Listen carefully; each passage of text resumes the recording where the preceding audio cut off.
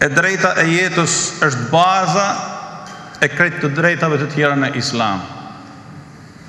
Ka një dakortësi në mesin e juristëve islam për ndalimin e abortit abuziv, që përhapet në masë dhe që është i barazvlefshëm me vrasjen e jetës, sepse Islami me mësimet e tij garanton hakun e jetës.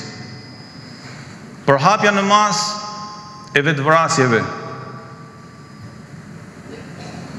e vrasjeve për shkaqe të ndryshme, e shkatërrimit të jetës së tjetrit, e prekjes së pronës së tjetrit, e prekjes së shenjtërive të tjetrit, janë alarm i madh në shoqërinë tonë, për çdo shoqëri. Allahu Azza wa Jall urdhon dhe thotë në Kur'anin Famëlartë, mos të vritet njeriu pa të drejtë. Ai që vret një njeri pa të drejtë është sikur të kishte shkatërru kret botën. Thot në Kur'anin Famëlartë. Ai që bahet shkak për t'i dhanë jetë dikujt, pra për t'ia shpëtu jetën dikujt në një mënyrë a një tjetër, është sikur të kishte dhanë jetë kret gjithësisë. Pejgamberi alejhi salatu wa salam urdhon dhe thotë se ai i cili na drejton një armë nuk është prej nesh.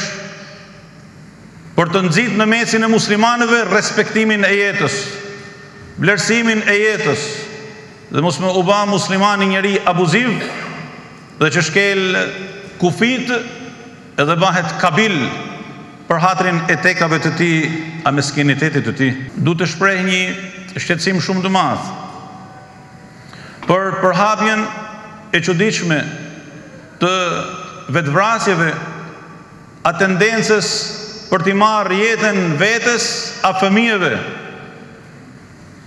nëpërmjet mytjes në lumej a në det a ngjashëm. U trondita para pak ditësh, por e falenderova Allahun Azza wa Jell që tendenca a përpjekja e dikujt për t'i dhanë fund një familje të tanë, Dështoi, Elhamdulillahi Rabbil Alemin. Duhet të falenderojmë patrullën e policisë që ndërhyni për shpëtu 4 apo 5 jetë njerëzish. Ata në fakt duhet të shpallen heronj, se nuk është kusht me u vra policë në detyrë që të shpallen heronj. Ata policë që shpëtojnë një nanë me katër fëmijë a pesë fëmijë për t'u hedhë nga ura e Bunës dhe për t'i dhanë fund jetës, në fakt janë heronj.